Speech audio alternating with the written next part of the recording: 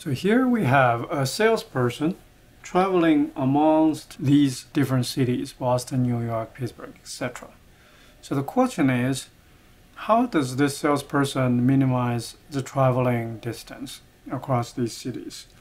As you can tell, similarly, you can do this calculation based on either traveling cost, like the total price of the tickets among these cities, or the time required for this traveling. But in this example, we'll just focus on distance.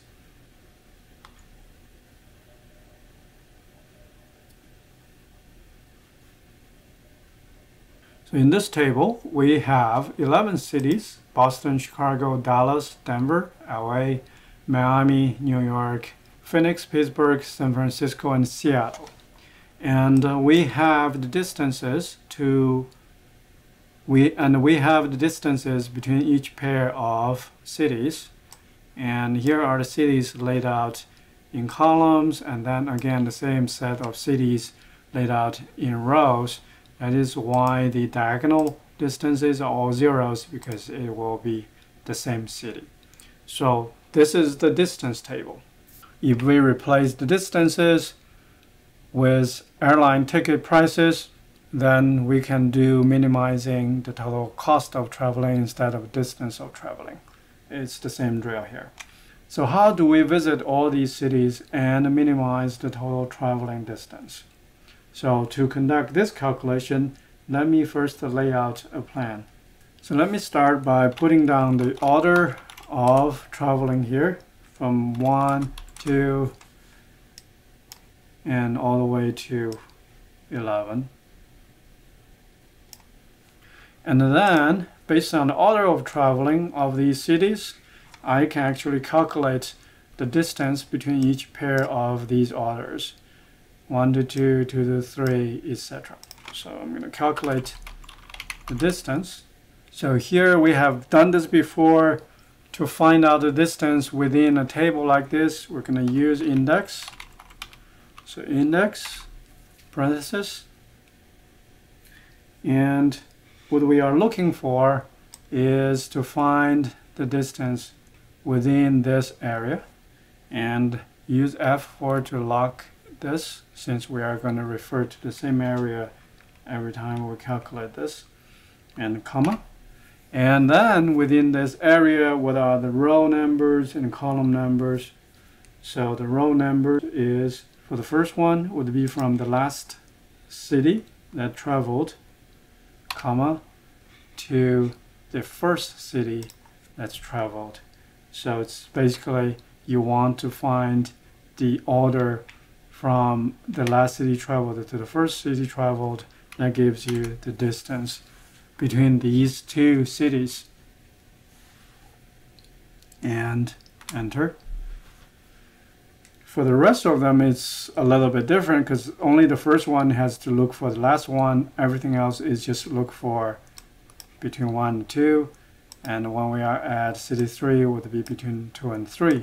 So let's do this. Index, parenthesis, and same area here. F4 and comma and then the row index here would simply be the previous city comma the current city and then close the parenthesis and then enter. And this one we can just copy this all the way down to all the other cities. And as you can see in the last one would be the distance between these two cities. So the order would dictate the distances. Now we want to know what these cities are so that we actually can tell what these order actually represent. So let me put down the city name is equal to, so here we are going to find out the city name using the index number. So we're going to use VLOOKUP of this order number, comma, and to look at here, A2 to B12.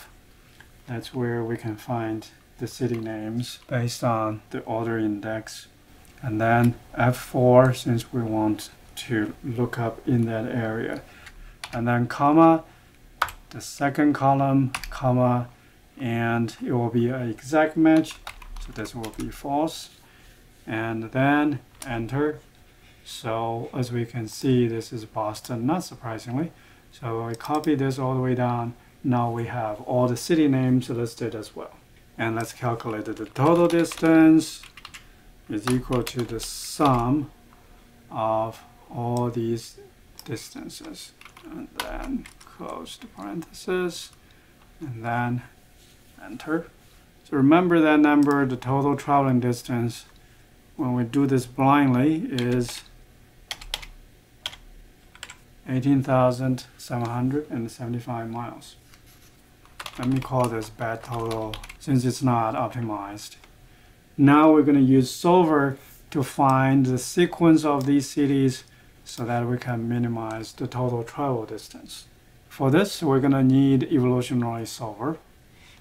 So go to data, solver, and the objective is the total distance and we minimize this by varying variable cells of the order of this travel and the constraint on these cells order of traveling is so Excel has one of the interesting constraint is dif.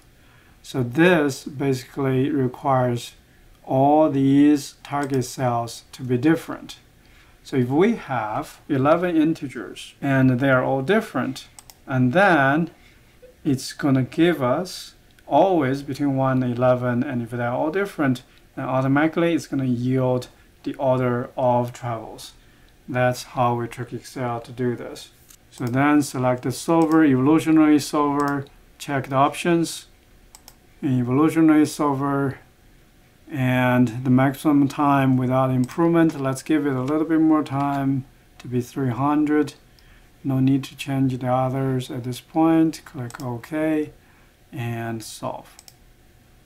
And Excel actually solved this problem relatively quickly. Click OK. And now you see the solution and the total traveling distance is approximately 9,000 miles. And as you see that the home city, as we know, is Boston. So this is where we start.